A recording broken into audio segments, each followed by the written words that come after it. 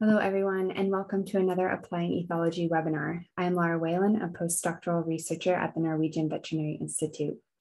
As we begin today, I want to remind you all to please turn off your camera and microphone. Should you have questions for our speaker, please type them into the chat box and we will address them at the end of the presentation. It is a pleasure to introduce Sara Hintze, an assistant professor at the University uh, at the University of Natural Resources and Life Sciences Vienna, also known as BOKU. Sara studied veterinary medicine in Germany before completing her MSc in Applied Animal Behavior and Welfare in Edinburgh, UK. She then completed her PhD on affective states in horses in Switzerland. Sara now focuses on identifying and validating behavioral and cognitive indicators of affective states in farmed animals especially pigs and cattle. Today, Sara is going to discuss the opportunities and challenges associated with behavioral tests and animal welfare research. Welcome, Sara. Thank you very much, Laura, for this nice introduction. Hello, everyone. Um, Jen asked me actually already half a year ago um, whether I would like to say something about potentials and challenges of behavior tests and animal welfare research, and I'm very happy to have the opportunity today to do so. So this is a new talk. I haven't talked about this, this question before really. And this is why when I started preparing this talk, I realized I should have phrased the title differently. And oh, okay, it's going, working. Um, it's not only about asking the right questions, but it's also about asking the right questions in the right way, which is um, very important. And the title also says behavior test and animal welfare research, which is quite broad topic. And I cannot give an overview of all the tests in animal welfare research, and I cannot even give a whole overview of um, what I wanted to focus on today, which is behavior tests to assess affective states across species. So I want to start with just a very, very brief overview and then more shared um, experience with you.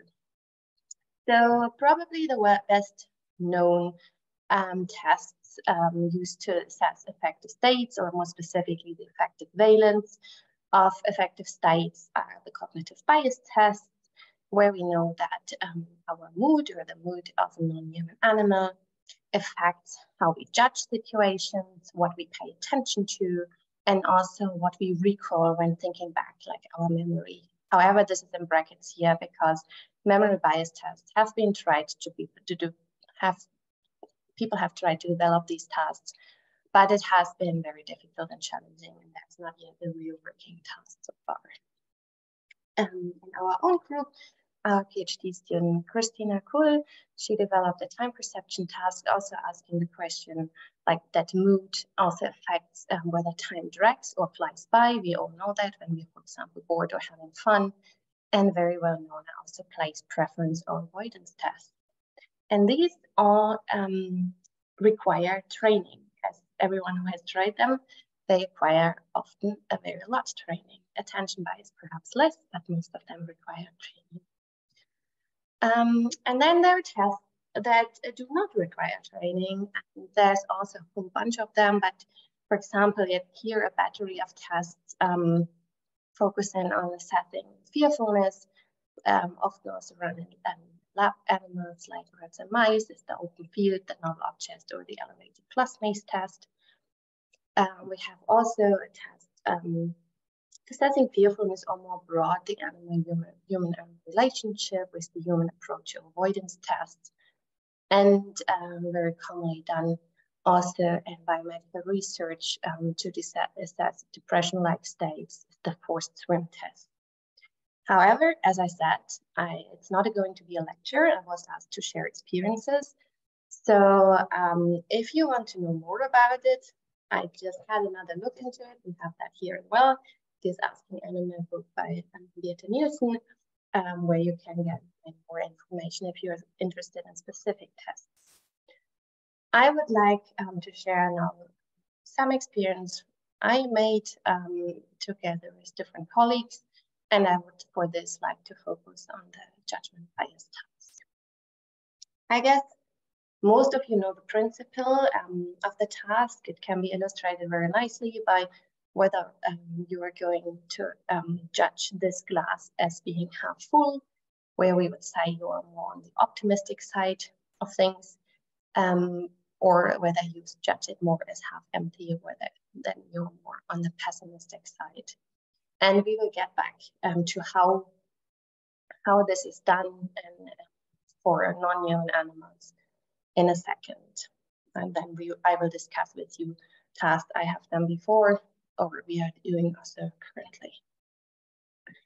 And this is a slide I found um, that I made during my PhD. It was for a talk, um, like walks and talks, so not such a conference talk, but anything else. Um, and it is about, um, basically, it's another slide for saying it's my journey through the kingdom of judgment bias with, um, you probably all recognize him, Mike Mendl and his group who came up with translating this task in non-human animals. So how it all started, um, and this is basically what I haven't shown anymore since my PhD defense, because it's a task I, I wouldn't do again, I wouldn't uh, run again, and I wouldn't recommend to run. But in order to share the experiences, I wanted to show, yeah, how things can go can go wrong and how to learn from them.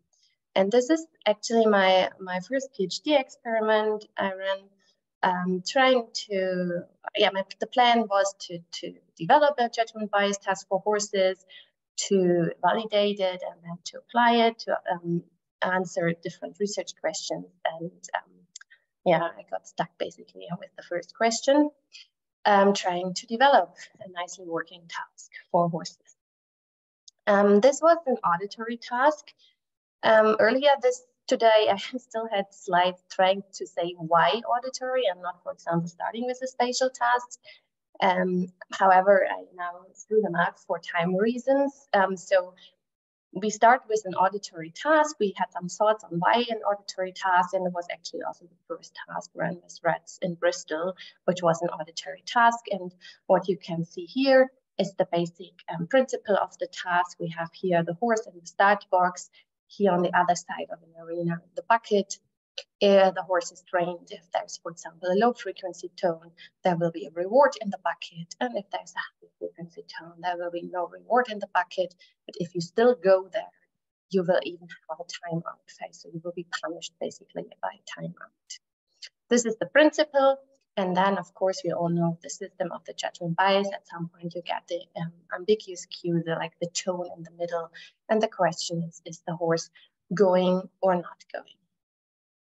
So um, I was optimistic and I was not on my own. And I'm very happy to see that Eimear, you are also here today, perhaps even Luca. So I wasn't doing this on my own. I mean, I ran the horse experiment on my own, but um, I got a lot of support and we had a lot of discussions by Eimear Murphy and Luca Melotti. Um, Eimear ran the, um, the judgment bias task before um, because she had already finished her PhD or was about to finish the sixth. And then Luca uh, did also an auditory task with rats. So when I talk about we, I, I mostly mean for the, for the start of the talk, the three of us. So we were quite optimistic. We, we yeah, we wanted to make it work. We worked hard. Uh, we aimed high and sometimes even higher. And then this is what happened. It took forever um, with all species. And um, it took a lot of time to train the animals for this task to make sure they, they had learned um, the association between tone and what they had to do. And besides the time, it was also that all three of us felt that there was we were a bit frustrated because we felt animals knew um, when what the task was about, but they didn't um, respond accordingly. So give, let me give an example in a negative trial in the auditory task for the horses, for example, they would know, I had the feeling, just the feeling, they know that there was, um, it was a negative trial, but um, they would still go because I mean, they were singing house stallions, they were never outside. We didn't work with um, strong punishers. Of course, we also adapted all these things. We I changed punishers, I used stronger punishers. So we that it's not like we um, we didn't try to adapt many many things, but still we felt like the lack of control the horses had in negative or the animals had in negative trials fell uh, led to frustrated animals, but also frustrated experimenters. So at some point we sat together, um, all three of us in Bern, and um, tried to pool our experiences and tried to tackle the challenges we had been facing and thought about um, different solutions, how to come up um, with a task design that is less frustrating for all of us. And this is what I would like to share with you now. Um, and before I share the task design per se, I would like to show you um, some things that you should know so that you understand what I'm showing you in a, in a second. This is the goal box um, from the horse task that I run. Um, you see here the lid, it's yellow and blue. No worries, it's not about the color discrimination task, it's a spatial task. I will come to it in a second. It's just to get the attention from the horse. So it's, it's always the same, doesn't really matter. Um, we had a um, draw um, below, like we had um, two levels so that we could control for um, odor uh, from the rewards. And this little hole here in the end, in the back, is for me to put my hand to, to give a reward basically. And you see here on the right side, a horse eating the reward uh, from a reward box. This was how it all worked. It was now a spatial task. So now location is the cue, not tone anymore. I don't have tones, we have now location signaling either reward, in this case, go if the left box is open, there will be a reward. If the right box is open, there will be no reward. And now comes the tricky or the new, very new part, is that we used a trial initiator. What does it mean? The, each horse had to had learned before we trained um, the positive and negative consequences that they had to initiate each trial. So they had to push this bottle in order to make one of these goal boxes being open. So um, this means um, touch the bottle and either the, the positive or the negative goal box opens. And I will show you a video so that you have an idea of what this looks in reality. Na. Oh, this worked a second ago still uh, which is a shame because I will have so many more videos. Is it okay if I quickly stop sharing and try it again because it worked five minutes ago still before we started? That's quite okay, Sara. Thank you. I'm not sure what happened here.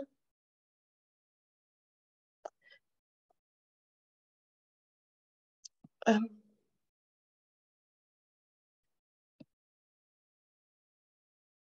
Sorry, just one second. I think it's probably because things are open in some. Um, this is always a stressful situation. Okay.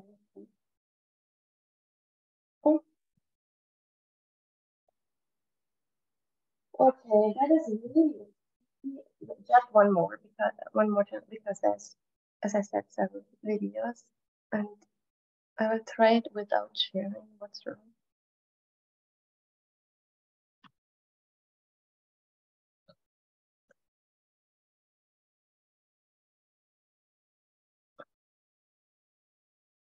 Okay. So if it doesn't work now, it doesn't work. But let's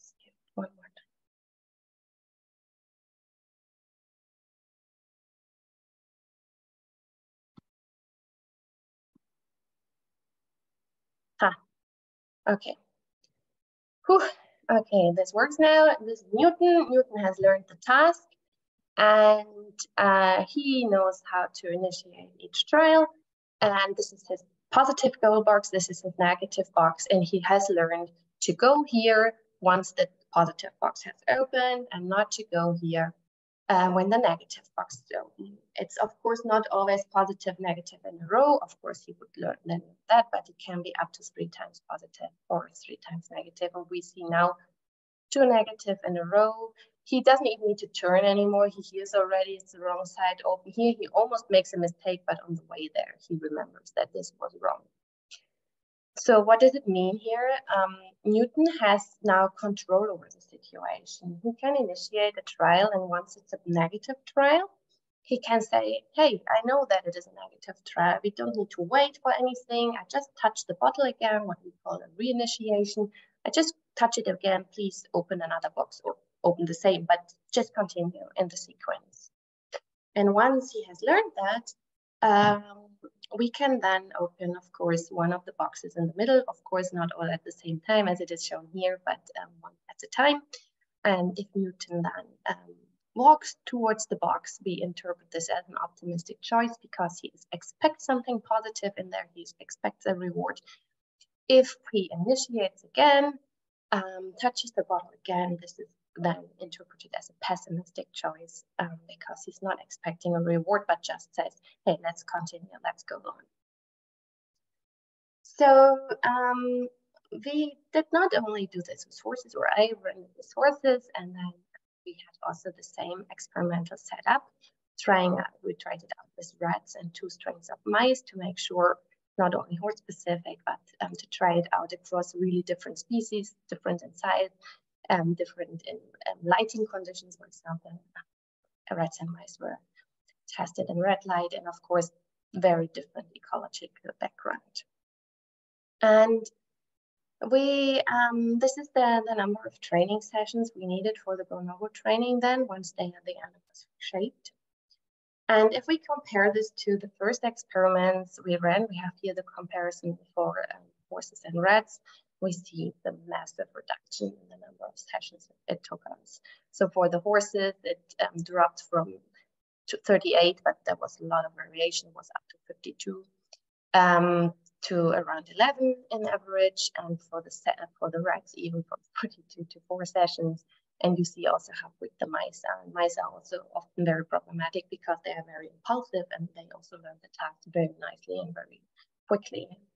This was probably partly because um, also of the reduced session lengths we had, like we had 53 trials, like 25 positive, 25 negative, and 3 ambiguous per session, like in a test session, obviously. And um, uh, for example, horses, they took 18 minutes and the rodents were even quicker to do that. And if we compare that with the previous experiments and horses and rats, um, we only had 13 trials before, which is also problematic from a um, from the test results point of view, but I won't go into this too much today. Um, and um, it, it took us much more to have much less, a fewer trials.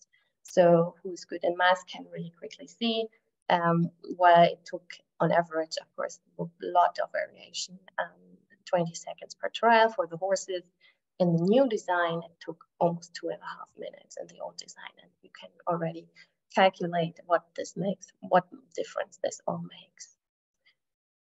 So taken together from this first experience, I think um, the advantages of the using the trial initiator is that we give the animals control. That's the major major advance um, advantage. Um, and of course, this reduces frustration in the animals because they have this control and they, they can decide, let's continue, let's go on, I don't want to wait. It's all combined, of course, all these points, but the session length was um, very much reduced or the number of trials you could do in the same time.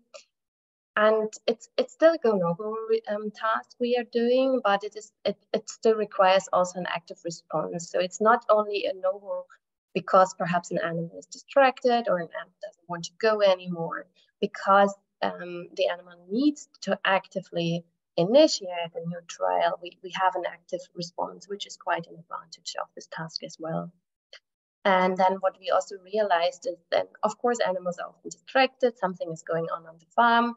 Um, here we have the pigs as well. I will show you in a second, but also with the horses, for example. And then you simply don't give a cue. You wait until the animal initiates and say, okay, if you're distracted now, take a break. And once you are paying attention, then you, the, the animal will um, initiate and you can have the cue um, in the right moment. And of course, what is also a big um, makes a big difference, especially when working with larger animals, is that um, you you don't need to like for example I have before I had to lead the horse back. So I walked in I, I, I took the horse you lead it back or with the pace you know you can push it away back to the start box. And this is not needed anymore which of course is good from an experimental design point of view because then you're not cueing involuntarily or you are not um, you know you're not taking your mood uh, like with a bad mood, for example, divorce and, and having perhaps kind of emotional contagion. Um, but the animal is doing it on its own basically, and you don't need a second person. You saw in the video that I could still see the horse, and we have changed this with the pigs now. So for the pigs, the experimenters are behind uh, a wall that is high enough, so you are not seen by the pigs. We have like a, a mirror using, we use a mirror so that we can see the pig, but the pig does not see the, the person behind um, this wall. So taking together this first step, uh, we thought that this, this kind of um, using a spatial task design um, combined with the trial initiator is promising in that it is feasible, valid, and works across species. And we even, um, yeah, had have now broader range of species. So this is still videos that I hope will work. Uh, for the rodents, I would like to show with you, uh, show you in a second, the mice here and the rats here.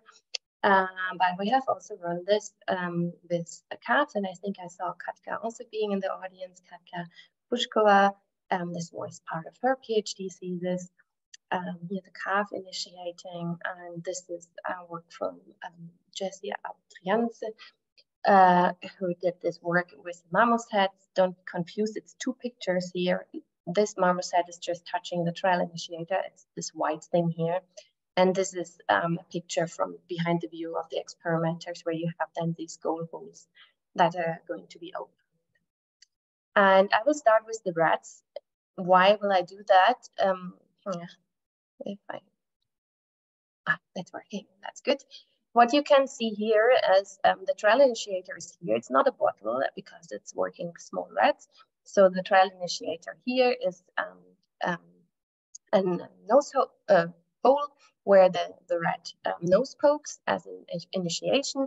And then one of these uh, little boxes, no, none of these little boxes opens. And here's the positive one for the red. So it goes and here's the negative, so it doesn't go. And why I start with the rats is that, and this is now the ambiguous here, the rat decided to go. Why I start with the rats is that you see in the rats and the horses, we still used um, these goal um, boxes basically. Um, we ran this experiment first with the horses and the rats. For the mice, we did already an improvement, which we are now also doing with all the other species. Uh, you can see here. Um, it's just turned the other way around, but here's the initiator again on the left side, and here's an opening of the positive trial for this mouse, and here's a negative, and it's very quick, and I cannot talk so quickly. But what you can see here, we are not using goal boxes anymore, we are using holes. This has several advantages. It's much clearer when it shows a goal response. Like here, the rat could, for example, have the head while turning over the box. Um, that was especially the case with the horses. And with the goal hole, you can really say, put your hand, put your head into the hole. And once the nose is through, basically that is a go response. And we also started to only reward once the um, response has been made so that there's no unintentional cueing. Um, I, am not sure it has happened already, but with the mouse, she showed also at some point um, some displacement behavior. So that's also something uh, we liked to do that, or we made sure everyone had um, access to water because sometimes um, they just wanted to go and drink. They also get um, dry rewards, so it makes sense um, to give them the chance to drink, especially with the rodents. That was very helpful. Um, yeah, that is now our um, picture of our design with the pigs. We use it for the time perception task, but also for the judgment bias. You see it here um, this arena with these holes as well. We use always holes now. You see the um, the reward pots um, behind. You see here pig eating from it, and this is from the experimenter. We, we have these sliding doors um, that we can pull open. And um, this is now, um, it will be also a video in a second. it's the same principle, but here's again one more um, change we made in the trial initiator. Perhaps you have seen it already. So this is like stepwise trying to refine the task. We are now using a bell. So why are we using a bell and not a bottle anymore? Um, it's because it gives feedback. It gives feedback uh, um, to the pig when the pig has um, done a um, correct initiation. And it also gives feedback to the experimenter that the initiation was right. Because once you're doing it, you always think the animal will perfectly initiate and you know, touch the bottle and then uh, sometimes very hard to say when it is a proper initiation. With the rats and the mice, it was very nice because it was automatically, you know, they needed to break a beam. So we got the feedback. And now with the pigs, we get it by having the, the bell ringing. And um, you will now see um, the thingy. Um, the experiment, you will also know I didn't share this. You will not hear the, the bell of the uh, sound of the bell, but I just heard it. So it, Here's the bell making a sound. This is the positive trial for the pig. And um, it's the same principle as you have seen now several times. Once the negative door is open, the pig says, no, thank you. I know there won't be anything. Um, I will um, wait until another door will be open. This is now the ambiguous. This pig has decided not to go to this um, open middle door. So why I call this ongoing challenges is that because the pigs really create some challenges for us that we haven't experienced with the other species. So this is work by um, the MSc, thesis by Catherine Craig in collaboration with Jean-Loup Rault from the VetMed University. And you don't need to understand this graph per se, um, and also not the treatments we have, but just the pattern of the graph shows you that our um, pigs responded too optimistically. Of course, in inverted commas, um, this doesn't mean they were too optimistic per se, but we have a real ceiling effect. So obviously you don't find any treatment differences anymore if everyone is going every time. Not every time, of course, we have quite a range. And here for the near negative trial, so this is perhaps I should quickly say this, sorry. This is for the different um, trial types. These are the negative um, trials. So animals are not going. We have here on the y-axis the um, proportion of or the percentage of go responses. Animals are not going in the negative trial. They are going in the positive trial. They are really, really often also going in the ambiguous uh, trials. This is what we didn't find for the other species. We always had a very nicely monotonically created response for the marmosets, the calves, the rats, the mice, and the horses, but the pigs were here a bit different. This is one of the challenges we are facing. And the other challenge um, is we have um, here, it wasn't such a ceiling effect. This is the work by um, Helen Sundqvist. It was also her PhD thesis. Um, I'm not showing here the same graph, so, so be careful, it's, it's a different one.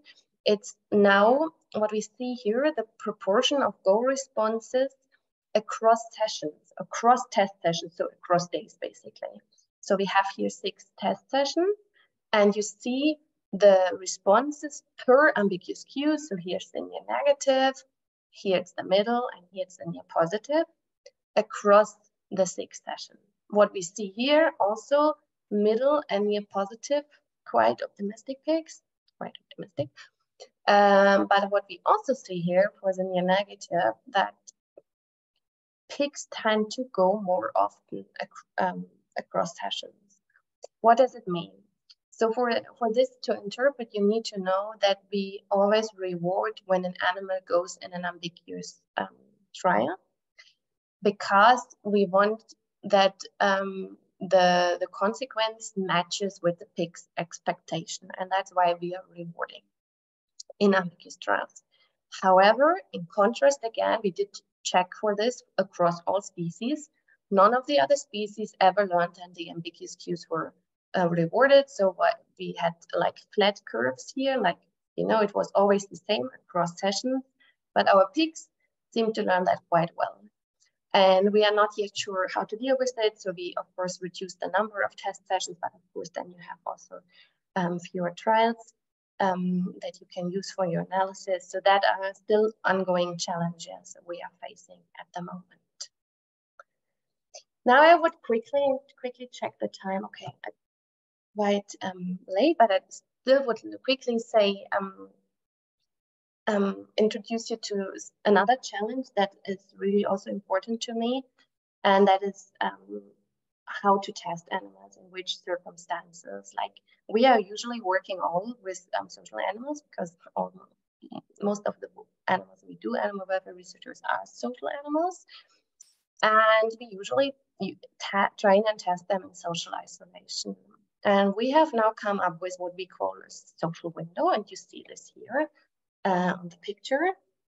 And this is the opportunity for um, the animal that is trained um, to have visual contact, auditory contact, but also some kind of physical contact with buddies. We call them buddies on the other side so that you can imagine this a bit better. This is our apparatus. He is a trial initiator. Why this is a bottle is a different story now. But what you can see here instead of the bell, um, where you can what you can see here is part of this social window. Um, so the trained animal can do its task without being disturbed or distracted. But once it decides, oh, I want to check now, and they do check, especially in the beginning, it can go here and see, are you still there? Everything okay? And we have done this now for several experiments and we have really had the gut feeling that uh, pigs are so much more relaxed and they can you have so much less habituation and time and um, you also you know i mean they are social animals so social isolation is obviously not uh, really natural for them and um, the also their personality different or individual differences, let's say like that, how, how easy you can adapt to social isolation. And we, we really felt happy with this approach of having the social window. For the last experiment, they were not tested with the social window. So we had a phase when there were no social buddies anymore, but for most pigs, that's okay, as long as they have been habituated and trained with the social window. However, this is our gut feeling, and that's why we have one systematic study on it. Martina Kröll will do her master's thesis on that, where we test how um, social companions in the other room, this is our social window basically, this is our trained or tested pig, how these social buddies will affect habituation time, training time, and also the behavior of the animal um, during habituation and training. Last but not least, I wanted to um, share one more challenge with you, and that's only one slide to finish up. And um, this is the one slide um, I took from our bigger boredom project, um, chronic boredom in pigs. Why did I take this? Because if you then have a look at what we are doing with these animals, um, we are training them um, quite a lot actually until they can be tested. And this is somehow quite um, problematic when you are interested in a treatment effect, for example, of barren environments, of, of boredom, of something where training is actually quite enriching, cognitively enriching, and you are thinking, oh, are they really as bored as they should be? And um, for the, the, I was very afraid of that when we started our bigger project, and this is why we also had animals that were not trained and tested at all. So, for for example, behavioral observations that were never trained and tested and didn't have this human-animal relationship. Um, but on the other side, and this is why I want to share this with you because it worked very nicely and we had no idea whether it would work like that. What you see here is across time, we had a block of training, which was most of the time, or even though it takes only a little um, um, space here, but um, we trained um, animals for quite a long time. And we tested them then as it is usually done. And then we had a time where they were just in their environment. So here it's just an illustration of um, different environments, like for example, barren and enriched. And they were not trained or any handled or anything uh, for three weeks. They like had a break. Um, then we tested them again and we were like, okay, do they remember? Do they participate? And it works very, very well for many pigs because we had two different tasks, doesn't matter. But um, it was even five weeks and also this was no problem at all. Then we switched treatments for half of the animals. And we had again this week um, a break of three weeks and um, or sometimes longer, a minimum of three weeks, and then tested them um, again. So we had them from very little piglets, like um, we took them after weaning until slaughtering, and we even tested these really, really big pigs, like with more than 100 kilos, and worked very nicely. And they do remember very, very well. So this is also something. I guess it will doesn't work with every species, and you need to try out. But I just wanted to share it because we always need to make sure our um, training is actually not interacting too much or as little as possible um, with the treatment we have. And with this, I would like um, to thank you for your attention, and I'm very curious about all questions that might pop up. Thank you very much. Thank you so much for your beautiful and clear presentation, Sara.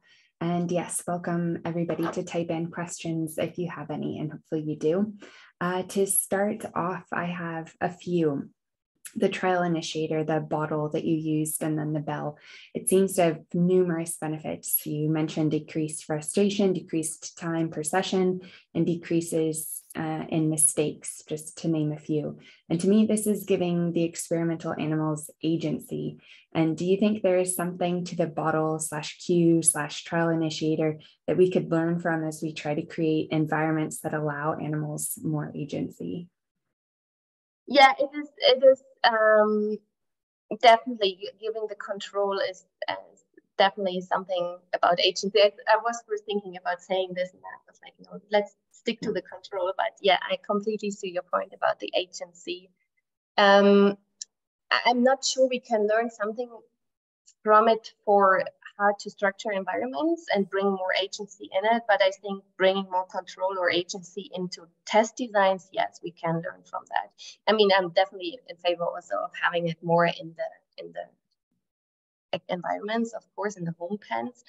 Um, but yes, for de definitely for the experimental setup, I think we should think about how to how to increase it. I mean, it's also you know we we are always having an effect of we try to assess effective states and then we are messing up by having them socially isolated or we are messing up because they are frustrated within the task i mean we might mess up because ours seem to be super excited to get into the task so it's not that the positive side also messes up obviously with the results or can mess up but um, yeah we we across these species now um, we really felt happy with the agency or control part of it.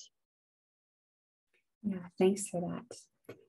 So our first question says, thanks for the insightful talk, Sara. So I assume the pigs cannot see whether a hole has food in it from their starting position. However, could it be possible that they smell the reward? Mm -hmm. Thank you for this question. Um, no, because we only reward them once they have made a decision. So they first have to stick their head um, through the hole and then they get the reward. So there is no potential cueing, also not, you know, by moving and making, yes, making noise while you put something into the truck or so. It is only once the animal has made um, the decision. Um, and they learn, I mean, sometimes, you know, it takes a second or so until they get the reward. Of course, you try to act as quickly as possible, but they learn it. They, they know they will wait for the second. Um, they will even protest if it hasn't been enough or so. So um, they will not go without it. no, I imagine they would not. No. A few have asked if you could share the links or a list of the papers and books named in the presentation. Yes, sure. Perfect. Uh, another question. I recall a student study with a raven that had the problem of boredom as well. In fact, the raven became mischievous and selected wrong answers, the researchers suspected anyway. They went back and reviewed the footage and found specific behaviors associated with quote unquote mischievous answers versus others. So, it, could there be something to watching closely the behavior when animals seem to become bored? Whew, okay. so I, I would love to give the boredom talk as well, but that's not the topic of, of today. So two points that come into my mind. So yeah, like very in a nutshell, very shortly in a nutshell, we, we try to um, assess boredom from very different components like behavior and cognition. We have the time perception tasks, judgment bias, attention bias, but also very closely um, the, the, behavior. Um, this is one thing. Yes, definitely we try to, I mean, there is nothing about boredom yet. So we really need to explore it for the first time. Basically, I mean, there's a little bit, or not a little bit, there has been the first things by first research projects by Becky Meagher, and Shani Byrne and uh, Wex, but otherwise there's really nothing on boredom and nothing for sure on boredom in pigs. Um, the other thing is what we are doing at the moment, and I think that's very important as well, is to look at the behavior of the animals while performing the task. So we are now usually what you do and what you publish is you, you for example, count the goes and the no goes and have the proportion and so on, as I showed the results before some of the graphs. Um, but we are trying now to figure out a bit more in detail what's actually happening during this during this experiment um, while the animals are performing and trying to shed some more light on that as well. Yeah, looking at the whole study, always more videos to watch. Yeah. Allison says, thank you for the very interesting talk. How do you think these test designs would translate to non-mammalian animals such as chickens? Would you expect similar or different outcomes slash challenges? Oh, that's a very good point because I forgot to put the chickens in in the slides because we have done this with chickens as well, actually, with layers. And um, so it worked very similarly. Oh, uh, yeah, I'm very sorry now for the chickens. uh, that I forgot them. Um, we had the same task design. The reward were obviously mealworms. Um, we had um, habituation took quite long, also with the social isolation, basically. Um, but otherwise, the, the, the design was absolutely um, the same as with the other species. With broilers, of course, I mean, what you need to consider is if you have a species that cannot walk so properly, um, this is something we are, have been thinking of also for a while to, to design a task. It's not only broilers, it's uh, also cattle sometimes, uh, like animals that don't run back and forth for 50 trials, basically. Um, there's something you need, I guess, something more stationary and not turning back forth, back forth. Sasha says, wonderful talk. Thank you. Could you talk a bit about what the training sessions looked like? Okay. Um, yeah, so we always start with um, the habituation, obviously, and combined with the habituation, we usually start with the shaping. The shaping is the, I would say, um, most interesting task um, because there you can do most um, basically because um, there you need to you need what what you need to do is I actually have a green bottle here just just by chance. um, what you what you do is um, you have the bottle with you, for example, now with the horses, and and the, the horse touches the bottle, you give the reward. What touches reward touches reward, then you start moving this bottle away so that the horse really learns it's about the bottle, it's not about her hand or something like that, where the food comes from. And then at some point you put um, the bottle where it will at the end. And you, you as an experimenter, uh, uh, slowly move away. So it's still about touching the bottle and getting moving away until the animal gets it and goes on from its own um, from the bottle to, to the goal boxes, basically. That's the, the most interesting step, I would think.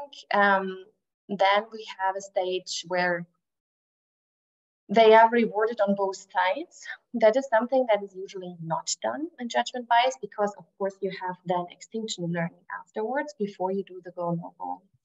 Why we did that is that we wanted to tell the animals pay attention to the open door and not pay attention whether the positive door is open or not. So this makes a difference. It doesn't make a difference in training but it makes a difference in testing because if you have learned, pay attention which doors open, you also pay attention to the ambiguous cues. If you have only learned, I only go if the positive doors open, I will only go when the positive door is open, not when the ambiguous one is open.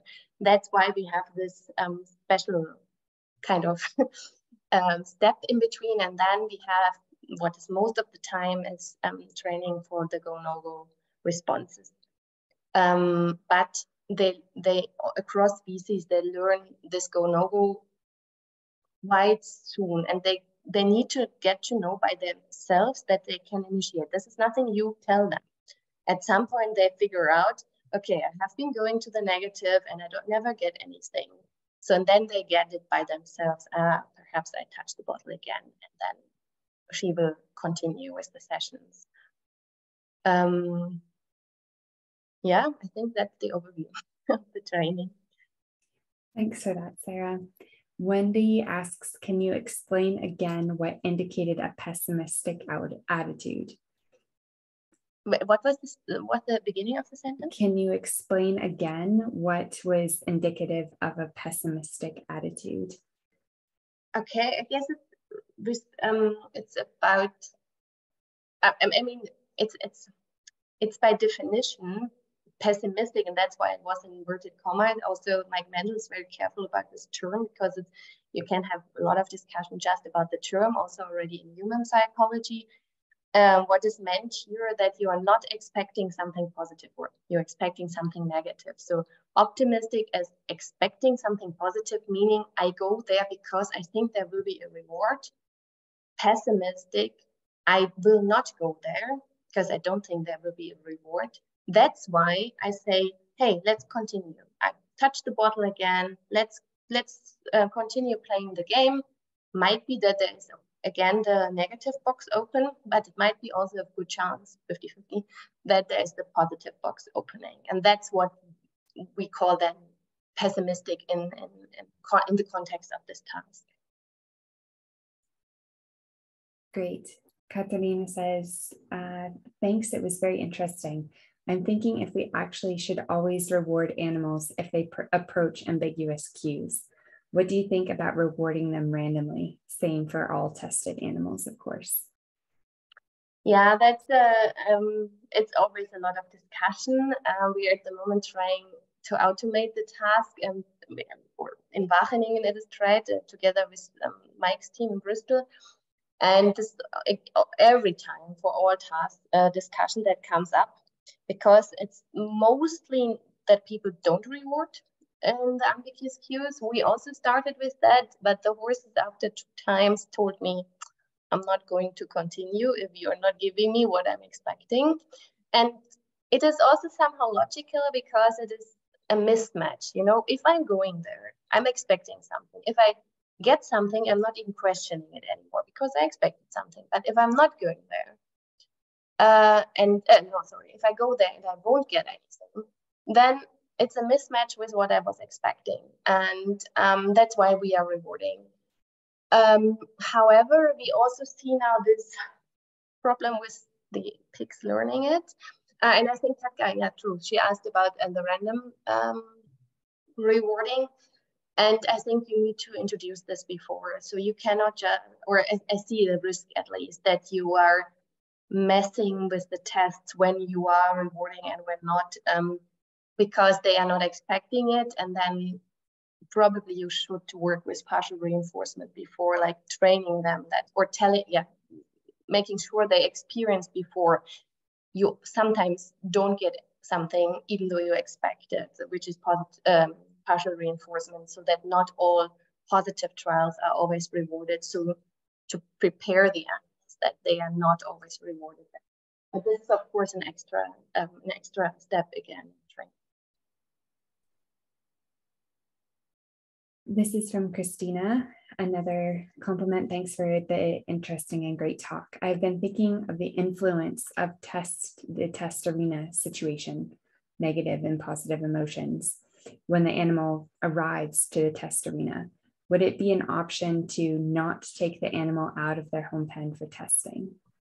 Yeah, that is the ideal scenario. That's what we are working on is perhaps too much. I also had slides on our trial to uh, our yeah attempt to automate the task earlier in the in the talk, and then we had to sort this out as well. this is of course the ideal scenario first the automation and then having the automated task in the home fence and that's what in we do in this PigWeb project. This is the aim there but it's not that easy. Um, because you first need to have this automation. We had this um, we, we, we, we started with the automation for the rodents. Um, it didn't work uh, it, it worked quite well, but what, for example, is very um, difficult to automate is shaping, because there there is the human component where you, re you react quickly, you see the animal, you see how it responds. And even though we tried to come up with what are we actually doing, breaking it out in rules that we can tell the automated system, this was quite difficult. But yeah, the, the aim is definitely to, to have it automated, also to save time to have it over a lifetime of the animal and then also of course to have it in the home pen which would be amazing Katharina has two questions more. Why do you think that you had the ceiling effect in one of your studies on pigs? And could you please elaborate more on the training testing animals when the familiar conspecifics were present in the neighboring pen? For example, was it their home pen? Were those animals also focal animals? And if yes, were they also frustrated they weren't able to perform the task? So maybe we'll start with why do you think that there was a ceiling effect on the study pigs? Yes.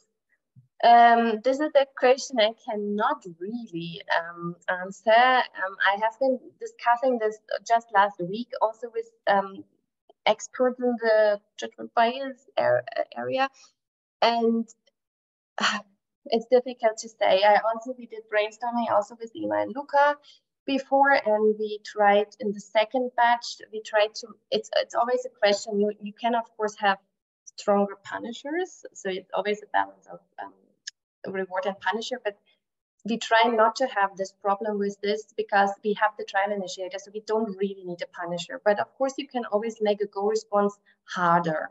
So for the horses, for example, I had a little barrier. They had to make a detour. So to tell them, think about it, whether you really want to go, basically. Um, and for the pigs now, we came up with the drawer system, basically. So they had to open the, you didn't see this because this was still old pictures, but they had to slide open to actually access the food. So more work to do, basically. We had, we tried to make it harder when we realized the pigs are going too often um, it we still have to analyze the data, so I'm careful to say something about that. Didn't seem to have too well just from the gut feeling. Um, I don't really know otherwise. I mean, they are curious, they are explorative, they uh, they are neophilic animals in contrast to others. So yeah, they are going, but I, unfortunately, I wish I could give the answer because then we would try to change it. I cannot.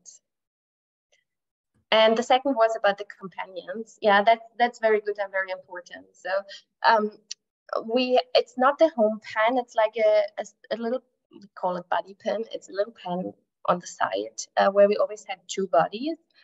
And um, they were animals that were not, um, so we let me think that I don't say anything. Yes, they are not trained or tested animals.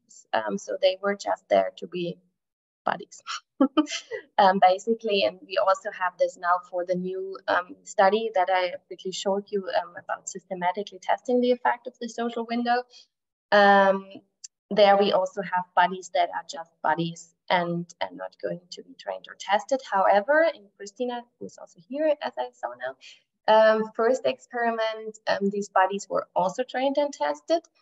And um, they were, you, you, need to be a bit careful. And Christina, please correct me if I'm wrong, but um, for example, you, whether you feed them or not in there so that they don't get frustrated or that, that they don't start to scream and say, give me more, give me more. If, if they are, otherwise they, they were very relaxed in there so you need to be a bit careful with how to how to treat them basically there um, but otherwise they were just lying down sometimes just looking basically but not getting frustrated or because then the effect of having a buddy would yeah you're absolutely right because that would not be helpful anymore Building on this buddy idea, Allison asks, what were the differences in how the animals performed in the test with or without the social window? Do you think this social window is important for tests that do not involve training, such as the novel object test? Mm. Yeah, I mean, the result, I, I don't know because we will only start in today 10 days. So we cannot say anything. We can just tell from our experience um, that we felt it was a big difference and that they, they were just so much more relaxed and um, easygoing. Um, but as I said, we need to test it systematically because it was across experiments, and of course we cannot really compare them the data. Um, yes, we have been also thinking about whether or not we involve also some common tests that we are usually not doing, but something that doesn't involve training like novel object test and see whether the test results are different. I mean, the question is then, if the test results are different, what is the more validator? It's it's difficult to say. I mean, the animals might be distracted, then it's perhaps less valid with with companions. But if you just test for social isolation basically, and not for fearfulness, for example, in general, then it might be the other way around. It's difficult then, of course, to say. Um, then you would need to have more control groups, basically. Um, but yeah, it's something definitely to think about, at, at least to explore. I, I think what is important is to have be at least open to start thinking about social animals, perhaps not testing in social isolation, at least this thought. And then we need, of course, to do more research on whether how this is, yeah, um, yeah, what it make, means for the data. But at least we should allow this thought, I think. Linda says, really interesting topic and a great talk. A colleague of mine is asking animals to double tap to show no response, which I think is really cool. Have you used this? And if so, can you elaborate on this method? It seems to indicate a high level of intellect. Okay, so double tap means probably bum bum. Uh, that's how I interpret it. Yeah. Okay. Um, no, we haven't used it. I'm I'm just trying to think. Um, I mean, it is it is. I guess it is similar. It's just that ours didn't have to double, but just one. But they had to in indicate that it was a that it is a negative trial. I guess you could also train them to do it. I, I don't see a reason why you couldn't do it to do it double probably they are not too happy about it because they want to continue then uh, playing the game. Um, but I don't, I mean, it's a question of shaping. If you tell them do two twice, I guess they will do twice. It probably takes a bit longer, but I don't see why they shouldn't shouldn't learn it. At the moment, I don't see uh, the real advantage, but perhaps I just don't see it at the moment. That's very hard possible. The final question, I think, for the sake of time, and I don't see any more questions in the chat box, chat box, is again back to the social companions. Do you think the social relationship between the buddy animals could impact the results? That is, if a subordinate animal is being tested and the dominant animal is the buddy, would the test animal be more likely to show a pessimistic response? Yeah, good question. We have no idea um, how this relationship would influence it. Yeah, how this of whether dominance or subordinance would influence it. I, I, my gut feeling would be not about being then more pessimistic. It's probably more about, yeah, how you feel in the test situation. Yeah, and then perhaps also how you respond in the ambiguous cues. But usually they get into a run. It's not like in a test. I mean, as I said before, also in the in the bigger project now, they were not tested with companions anymore. So this was because it was a boredom project, and we really didn't want them to to have periods of interaction and talking to each other and so on while testing for boredom. Um, so we didn't test them with the companions anymore. And it's really important in the beginning once as long as they don't really know what to do and they need to figure out the rules later it will be like they get, get into a run, you know, like they they go to initiate, go, initiate, go. And you saw that the, the social window was basically behind it. So it's uh, it's not like it's in the way and they always see it. If if they are in a run, they don't even necessarily see the other pig. So my gut feeling would be it's not so problematic, but definitely something to take, um, yeah, to think about and take care of. Yeah. Also, if you have friends or not, or if there was a fight before or afterwards, whatever, all things that could potentially affect it. Yes. Fantastic. Thank you so much, Sara. That was a lot of questions. So thank you for your patience and for your wonderful answers and for taking the time to speak with us all tonight. Uh, fantastic presentation. And yeah, thank you so much. Thank you also very much.